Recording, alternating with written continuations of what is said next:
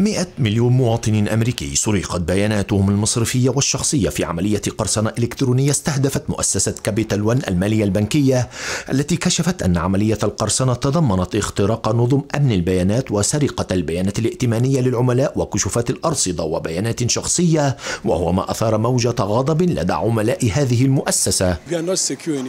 لسنا في أمان بعد الآن في هذه الدولة. عندما ينعدم الأمن في مؤسسة من المفترض أن تحمي بياناتنا فهذا يعني أنه لا أمان هنا.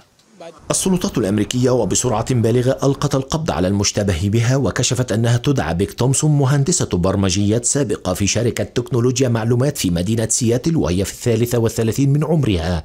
كما سارعت المؤسسة بالاعتذار لعملائها وأصدرت بيانا رسميا تعهدت باتخاذ إجراءات أكثر صرامة لتأمين بيانات المستخدمين وتعهدت بإصلاح الأمر وتعويض الضحايا.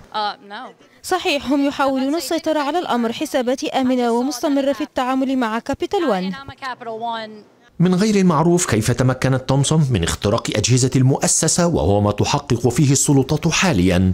كما يذكر أن كابيتال وان هي شركة ائتمان كبرى في الولايات المتحدة وتدير بنوكا تجارية عملاقة في قارة أمريكا الشمالية. عقوبة هذه الجريمة كما نص عليها القانون الأمريكي. هي الحبس لمدة خمس سنوات وغرامة لا تزيد عن ربع مليون دولار. وهي عقوبة يراها الأمريكيون صغيرة مقارنة بحجم الجريمة. خالد خيري الغد واشنطن.